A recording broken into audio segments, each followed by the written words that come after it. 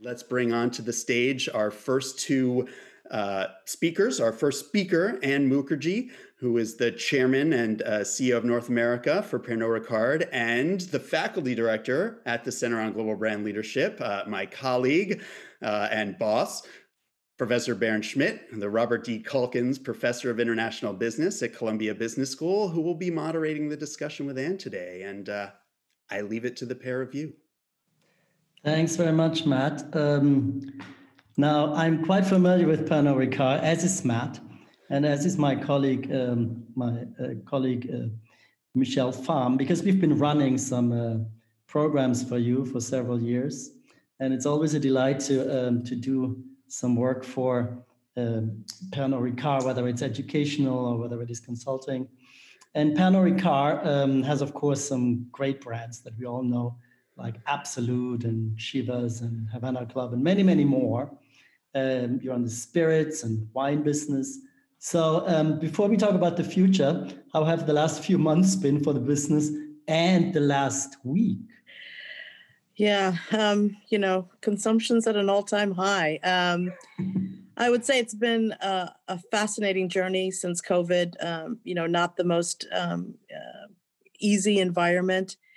Uh, but this is a very robust category. Um, we're seeing very high growth. Um, and that's mainly because with all the bars and restaurants kind of closed, a lot of in home consumption shifting from those venues into in home.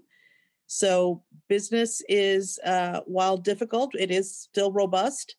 Um, we're seeing a lot of shifts happening. Um, you know, e-commerce, which was very uh, probably behind the times versus CPG, is now skyrocketing in growth because people want convenience. Um, so our ability to have the technology infrastructure, understanding how to play in the space, um, you know, we're we're learning a lot in a very short period of time to be agile. Uh, and I'm happy to say the company is doing well, and um, I'm learning a lot. well, I'm I'm happy to hear that, and I guess um, the crisis is not that bad for your business. Now, of course, in the future, there'll be other crises. Oh, yeah. uh, and we sometimes don't know what's coming, right? So, um, right. so let me ask you more generally first. Um, so, what are your sort of insights? What is your thinking about the future, and especially the future of marketing, which is the topic of this uh, event today? Yeah, I think we are closely. You know, we we've talked a lot about this whole new normal, um, and I think we're past that. I think it's the now normal. Um, it is the only thing that's going to be certain in the future is uncertainty. Uh, whether that's economic, political, um, environmental, um, health, it doesn't matter. So I think you know one of the things that we've talked a lot about at Pernod Ricard is this notion of advancing through ambiguity and making kind of adversity your advantage. And and you know in today's world there are no rule books. You know so what we're trying to teach the organization is you know what is the intersection of things that matter and things that you control? And if you as a leadership team and as a company don't understand that for your company your employees will spin. And so um, you know too many companies are trying to figure out how to boil the ocean. And now more than ever it's time to focus on what matters and really help the organization build the capability to be a learning learning organization to be able to adapt as as you move forward. And I guess at the top level where you are, uh, these are these are the key challenges. They're organizational, right? They're broadly strategic. Um, but let me go through a few of these uh, sort of future developments that we can perhaps, perhaps expect and, and ask you uh, how you view them and also what sort of initiatives uh, your company might take in that, that regard. Why don't we start with um, technology? Because I mean, technology has been uh, driving business for I don't know digitalization for the last 20 years, let's say, right? We had the World Wide Web, then we had e-commerce, then we had social media. Uh, you know, we have big data from a sort of research perspective, very important for marketing, right? Um, and we have mobile, mobile platforms. So that's been sort of what's been happening right? But now there's all sorts of other new technologies on the rise. Uh, AI, uh, AR, VR, IoT, these are the buzzwords too, and the buzz acronyms, right? And, uh, and robotics. Uh, so let me let me go through those. Um, uh, like AI, how important is AI for a, a, a, company in your business? You know, I think before I answer the AI question specifically, I think you know at the end of the day, um, you know, when I think about technology, I try to remind my teams about two things. Technology, because of this thing called the smartphone, right? Um, it has been probably the biggest democratization tool for consumers that I've ever seen. Consumers can now buy anything they want at any price, anytime, and the barriers to substitution are collapsing. And so, as organizations, we have to first understand that is the profound impact of technology, right? And what it's done to disrupt uh, what I would call the um, traditional um, definitions of competitive advantage. So that's number one. Number two, um, you know, like anything else, like any invention in modern history, technology is just another enablement to do what you should be doing. And a lot of people, I think, make the mistake that, oh, here's the latest tool or toy in some case, Mm. And if you don't understand your underlying company strategy, how your company operates, what will change because of the technology? Well, it, what advantage will it give you? Um, applying any technology is dangerous and costly. And if you think about the world of AI, you know, the beauty about AI is that it allows companies that know how to harness its power to be able to make decisions at the speed of business which is really in today's ever changing world an incredible advantage. But knowing AI as it's still, you know, it doesn't mean that human intervention goes away. What's the heuristics under the AI that you need to build? What's the science that you need to, the behavioral science that you need to build? What, how is your organization set up? If you have a siloed organization and you start applying tools, the technologies just further further silos you so it's critical um, that I think in today's world, AI will help people, um, you know, take out a lot of inefficiency in the system. We have a lot of people trying to make decision making uh, that is based either on experience or opinion. AI helps you understand what is predictable. And so, if you don't have the organizational savvy to be able to take on these technologies, they really become expensive toys for a company. I understand. And so this actually applies to all the technologies that I mentioned, yeah. um, not only not only to AI. And uh, and um, I guess that the role of the consumer is also very very critical in this the relationship between technology and and your company, isn't it? Yeah, absolutely. You know, companies at the end, what we we can never forget is we're in the human being business. We're in the human mm-hmm. connections business. And when a brand has a relationship with its consumer, it's still got to feel that the brand cares about them, that the brand has values that they care about. And tools like VR and you know AR and all these wonderful things that bring brand experiences to life in ways that that's never been seen before, it has to be rooted in that creativity. It has to be rooted in creating that human connection. And if brands come off too slick and you know too you know this is a cool technology that the brand has applied if it if it doesn't go back to the heart of what the brand stands for if it doesn't amplify that using the technology then it's a wrong mm-hmm. use of that technology and I understand. And uh, and and if we talk about AR, VR, like augmented reality and virtual reality, and also robotics. I mean, there could be all sorts of gadgets coming. I don't know, uh, robot bartenders, right? Yes. Or, yes. When you have a drink, you can immerse yourself in a new world and all of that. Um, but for marketing to do these sorts of um, fads or or or use these gadgets, or I mean, they attract attention to the consumer, don't yeah, don't they? Absolutely. So, so, so, there is clearly some role for for technology. Absolutely, and I think it goes back again to you understanding what the brand stands for. Um, you know, I, I know you're going to have some amazing speakers after me that are going to talk about you know some great applications that they've done. Um, you know, Machado has done a great job with a, a lot of that in in what he's done with Burger King. But I'll give you one example. If if the brand kind of has that um, kind of timeless story. You know, a, brand that I'll, I'll talk to you about that is in my past, a brand like Doritos. you know, Doritos is a is a brand that's about kind of young teenagers who are looking for the never been done, never been seen. And when they're looking for these experiences that just allows them to feel bold, you know, these kind of technologies bring to life the brand in ways they've never seen before. Mm. You know, you know, we created a again using technology a, a, a, a concert experience that we put in the hands of, of our consumer you know using a soundstage that looked like a like a um, a vending machine. And that technology i mean whether you were at the concert or not using technology anywhere in the world you were now connected to that concert experience and you were deciding the lights and the you know does smoke come out of the stage now and what's the next song that's that ll cool j is going to sing so you know if if it if it works for the brand there are so many ways to bring technology to bring that experience in ways that consumers are just hungering for. Uh, let, let me switch over to um, brands and, and firms in, in society uh, yeah. these days. I mean, we see more and more social movements, we see uh, activism, we see uh, ideologies uh, in, in, in, the socio-cultural space. And that, of course, affects companies because companies are also part of a socio-cultural space. Yeah. So what's your view on the future in terms, I mean, for brands in yeah. in a societal, in a socio-cultural context. Absolutely. You know, I think um, I think this notion of values was at a tipping point, you know, kind of pre-COVID. And I and I think COVID has just accelerated that. And we are definitely now in a in a in a time in, in, in history where people just don't want to buy brands anymore.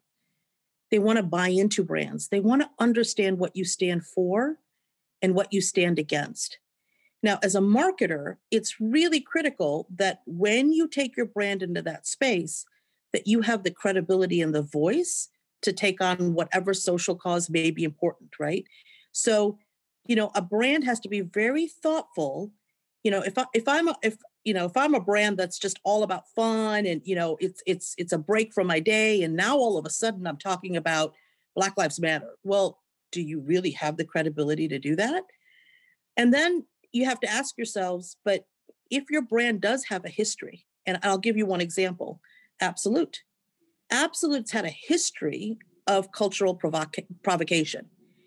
And whether it's back in the 80s and the proverbial door they opened at Studio 54 and brought gay rights to the forefront, you know, that's why this past year during Valentine's Day, we went further because there was a lot of chatter among our consumer groups around the Me Too movement.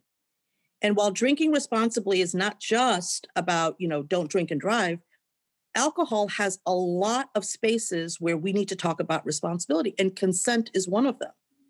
And we have to take on the fact that people are using alcohol as a weapon against victims. That's unacceptable. So if you're going to drink, you have to drink responsibly, you have to sex responsibly.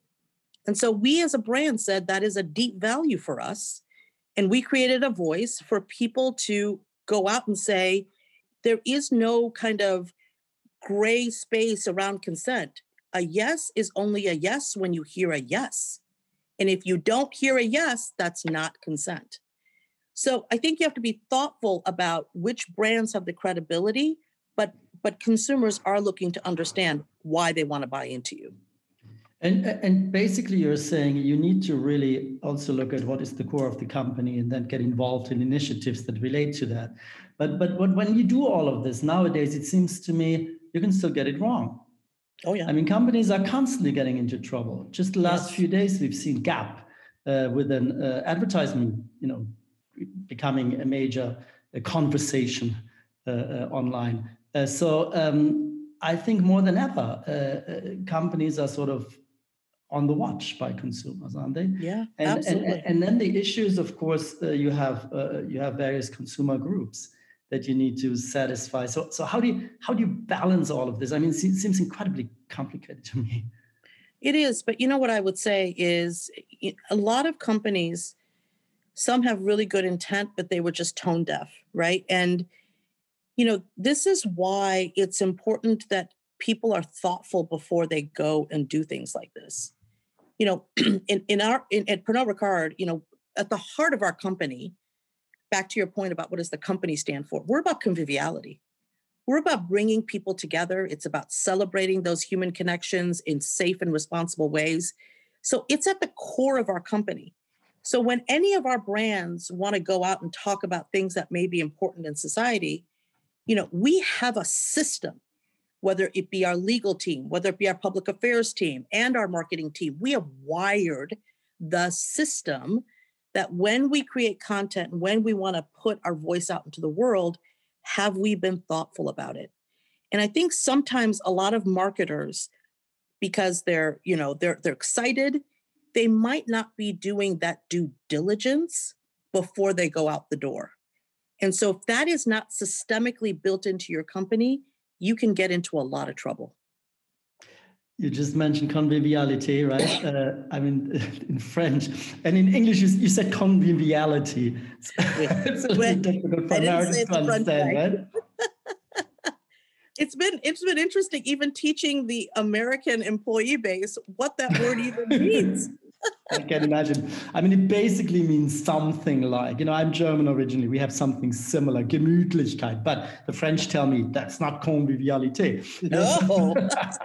so, but it is the notion, isn't it, of like uh, drinking responsibly, right? Yes. Uh, yes. Together, uh, and and I guess having a, a, a, good time, a positive feeling, be, being yes. happy, and, and and also relating to others. So, at the very essence of your brand is actually this uh, this socially getting together notion, isn't it? Yes, yes.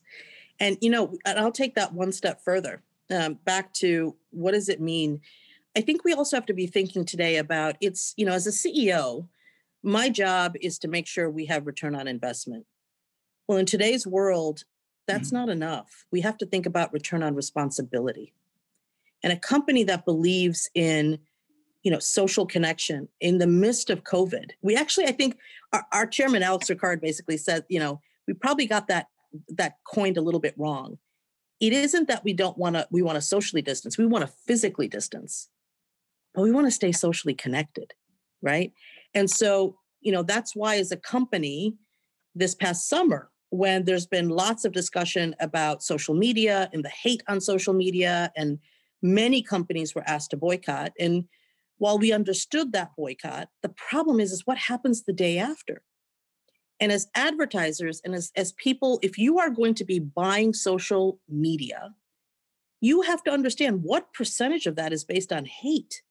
I mean, this is to me akin to, you know, companies that were taken, you know, uh, that that had issues with manufacturing with child labor Hmm. How could you how could you make that a part of how you built your business? We as advertisers have to do the same thing. And we need to partner with our social media platforms really to understand how do we remove that hate? How do we use our consumers? And this is something we've done with the ANA and I'm and I'm so proud of it, but how do you how do you use the eyes of the consumers to report hate and then create the technology to be able to, to make that transparent and have the social media platforms take it down. Advertisers need to ask the question. It's not just the engagement or my CPM. I need to understand what percentage of that is hate, and we need to remove that from the advertising we're buying. How important are like social influencers uh, nowadays in marketing for your company or in general, and and and also with respect to those social social issues? you know, again, I, it, for any, you know, social influencers are like, for me, any borrowed equity that a brand looks at, hmm. whether it's a sponsorship, whether it's, you know, what spokesman do you have for your brand on your commercials mm-hmm. right. you know you have to make sure that the values of that social influencer matches the values of your brand and your company back to again that systemic system that you put in place to be able to vet that as you think through yet another tool for you to amplify your brand. Now, you came from marketing, is that right? Within I did. Yeah, I did. So you were the CMO, right? And and now you're a CEO. So what are sort of what's different? What are the new challenges and how? I mean, it's interesting to our students too, right? I mean, from marketing, you move into the CEO position. What what, what does that mean? Yeah, I'm on a I'm on a um, campaign uh, to get more CEOs in, in, in the world to come from marketing. And I'll tell you why. It's back to that point I made about technology um, uh, democratizing consumer mm. choice. you know, if companies are to survive, we've seen so many companies get disrupted because they weren't satisfying the entire need uh, of a consumer and they got disrupted. Kodak, I mean, I can go on, right? Blockbuster, yeah. we go on.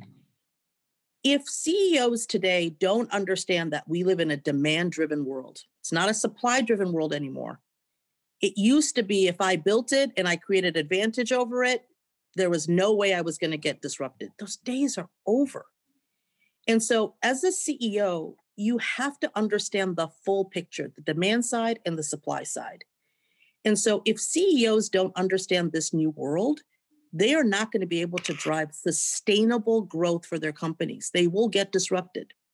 And I will say to the CMOs out there if you truly have that passion to be a CEO, think about what you do in terms of driving the performance of your company through what you do in marketing. It's about work that works. It's about predictive science. It's about monetizing human behavior. And when you understand how you connect with the P&L and you understand both the demand and supply side of the business, you can start creating the capabilities and the discipline that you need to become a CEO. And we need more CMOs to become CEOs. Now, we've talked a lot about some future issues with technology and and the societal context that is increasingly important uh, for brands and for firms. But we started out with a with a pandemic, and uh, you, you used the phrase in the beginning like this is sort of the the new normal now. The now normal, uh, yeah. All right, so I'd like you to think about the post-pandemic world.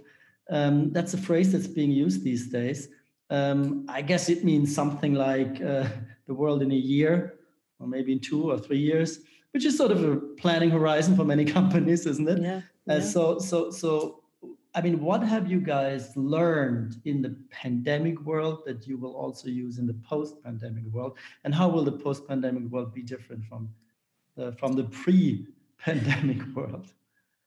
You know, I, I I think the biggest thing that we're going to learn, and I urge everybody to think about, is to survive in the pandemic world.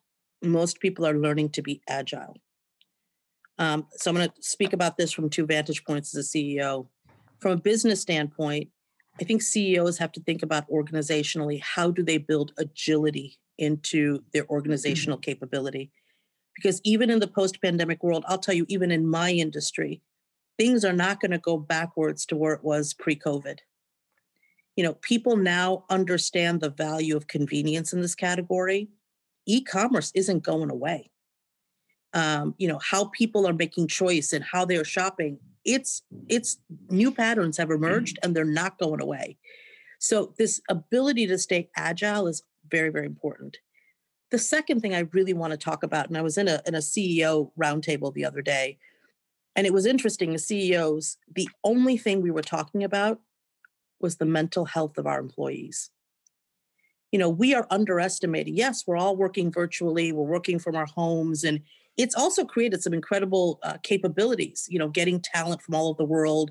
You don't have to be in the same city blah blah blah. All of that is great. But mental health it's not it's not about working from home. You are now living where you work and helping your employees not only to be agile and learning and how they they make impact in your company but now we got to worry about their their well-being which is not just health and physical, it's also mental. And so I say to all CEOs out there, um, you know, compassion is going to be an incredibly important attribute in a leader moving forward. Um, if I can just make a comment because I've been teaching at Columbia for like 30 years. Um, agility is is a, is a is a new term and a new focus within companies. Also within academia the journal of marketing was just publishing uh, on uh, agility. And now we've also had several other uh, um, management movements and, and over the years like uh, one recent one was purpose okay the notion that you need to, or, or the core competence of a firm in the 1990s we had uh, so so how does agility meaning constantly adjusting i guess that's what it means being fast and all of that uh, how does that sort of complement uh, purpose and the, call it the more stable elements within an organization, like the core competency, the purpose, the mission, these sorts of things? I think you bring up an extremely important point. Um, you know, if agility is not harnessed in values and purpose, you might just have a lot of people running around doing a lot of things that, because it's agile and it's quick, it's the right thing to do. Not at all. Um, agility has to be accompanied by a core. And you know, and again, I'm going to say something a little controversial. Um, you know, I, I, I think in today's world, the, one of my favorite movies is The Godfather, right? Whose isn't? And one of the great lines in the movie is, you know, it's not personal, it's business. I think those days are over. I think business has become personal. And if if you as one of the reasons I chose to come to Pernod Ricard is the core values of this company match mine and you know i i bring my whole self to work you know i'm i'm you know i'm a i'm a woman of color as a ceo um, you know and, and i bring i bring it all i bring my life experiences you know the the sex responsibly campaign when we launched it i went publicly and talked about the sexual abuse that was in my life the fact that my mother was killed by a drunk driver. Um, you know you have to stand up as a leader for what you believe in. And your personal experiences help other employees, you know, if you can be vulnerable, then they can be vulnerable. And I do believe that we all have pain in our lives, but if we can turn pain into power, if we can take vulnerability and create it into impact, this is the new leadership of the future. And it permeates into the purpose of your company, the purpose of your brands, the purpose of your employees. And if you match that with being agile, agile where it matters. You know, that is going to be the future. It's not about uh, share of market anymore, it's about share of the future. Right. Thanks. Uh, thanks, Ann. And I see Matt coming up here because uh, he was moderating actually the, the chats and the questions that we are getting from our uh, virtual audience. Matt, what do we have? Great. Wow. What a what a moment to come in on, Ann. That was we should have ended with that button because um, that was that was very nice. Um, I think one of the questions was a little a little more about uh, best practices on e-commerce, right? Because as a company, a lot of what you've done is has been more as we you know in the industry term on trade, um, in a bar restaurant, off trade, you know in it, buying it from a store so under the pandemic like where were where were those transitions for you where where that online shopping for your brand was not as common well, one thing people have to remember, especially in the United States, um, since Prohibition, um, you know, we, the supplier, people who actually make the brands, we're not allowed to sell directly to anyone. Uh, we have to, we go through what's called a three-tier system. So we have to go through our distributors and wholesalers that ultimately connect with our retailers. So it makes e-commerce even more complicated. so you know and and and and i think but at the end of the day you know whether it's a many of you've used things like Drizly or you know you've gone straight to um you know a, a liquor store like a total wines and more right so you know but the what's what's fascinating is is you know total wines and more take for example i mean i think their e-commerce sales pre-covid was like 5 or 10% like today it's like 30 or 40% in less than six months it skyrocketed so, you know, for us, best practices, that's what I'm saying. I mean, we as an industry, I think we're a little bit behind the eight ball um, in terms of e commerce in our industry. And because it's highly regulated, there's every state has different laws. And so it's a very, very complex world. But what I will remind everyone is at the end of the day, don't forget the basics. Okay. Don't forget, don't forget that this is just a digital shelf and how do you want your brand to, to show itself up in its digital shelf how do you make it shoppable how do you make it findable it's some of those basic kind of those rules and heuristics you got to remember and then understand how that works in a technology platform called e-commerce. That's great. Um, another one uh, from one of our students, uh, Sarah Smoller, was I think sort of a follow up on on the purpose discussion, the socio political cultural issues uh, which was around this that decision making risk assessment on staying silent as there are some of these issues that come out and yes maybe your brand doesn't seem the perfect fit given its own purpose and values how do you balance those things So, you know, here, look, I, for me personally, you know, at Pernod Ricard, you know, we are a house of brands. So I have multiple options in terms of what we choose and where we choose to speak. We could either speak at a brand level or we can speak at a company level. Um, and and I, an, an, example I'll give you. Um, you know, when the pandemic hit, I still remember that week of March 16th. Um, you know, my team came to me and said, you know, and we've got an opportunity to make hand sanitizers. Um, you know, our company said, okay, what do we do with this? Should we should we make it a, a brand initiative? Should all we did was went to the government, our public affairs team, you know, we worked with Peter Navarro, and in three days we got all the regulatory clearance to produce. And by the end of that week, we were making it. We've now been making hand sanitizers, and we literally we don't charge a cent. We don't brand it. We send it through FEMA. FEMA then distributes it to all first responders, whether it be fire, police, medical. Um, and it's a service we provide to the government. And we ch- don't charge a dime and we don't brand it. Other than, of course, it's from Pernod Ricard, but again, it's not an Absolut or a Jameson initiative. Mm-hmm. Why did we do that? Because we felt it was the right thing to do. And I will tell you, um, our employees are amazing. And they feel such a sense of pride that not only are they building a business during the time of pandemic, they're doing it in a way that keeps people safe. And so you you we all have choices, you know, and people said, "Well, Ann, how can you afford this?" Well, I got a P&L. There are other places that I can offset cost to be able to afford this. And these are the these are the decisions, the choices that you've got to make as a leader and understand that you have a wealth of tools by which to be socially responsible. Choose the tool that matters and go make it happen.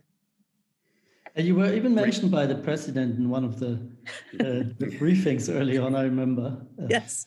I um, noticed, of course, because we do work for you sometimes. you noticed he said Pernod Ricard, yes. I, didn't, I, I remember, I, I noticed it, yeah. Um, no. One last question, uh, I think, uh, is all we have time for. And given that we have, you know, this is intended to work with our student club and we have a lot of students on the line, talent management right? What kind of skill sets are you looking for? What are you expecting from the next generation of future marketing leaders? Yeah, I mean, uh, first of all, I love it's like my passion. Unleashing the potential of talent is I, I it's why I come to work every day. And every time I meet young marketers or young business students, it's it's like that's where I get my oxygen so, first of all, anyone who's attending Columbia, congratulations. You are part of one of the finest institutions in the world. You are the future. And what I'd say to all of you guys is remember you matter and invest in yourself. Don't just try to go for the silver ring, go for what you think will unleash who you could be and the legacy you can leave. Don't just study subjects that you think is going to get you the great job be curious, push yourself, do things that exercise both sides of your brain, the left and the right, because it's in the intersection that you can solve wicked problems. And we got a lot of wicked problems coming up in this world, and we need you guys to solve it. So invest in yourself, believe in yourself, use this experience right now to just learn things that you don't know if you're going to have an application for it. Who cares? But somewhere in your brain down the road, you're going to leverage that learning and it's going to set you apart. Excellent. That was great. And thank, thank you, Schmitt. Uh, it was a pleasure to have both of you. Let's give them a virtual round of applause from the audience here as we transition. So, Ann, Bernd, thank you. Bernd, thank you. Bye bye.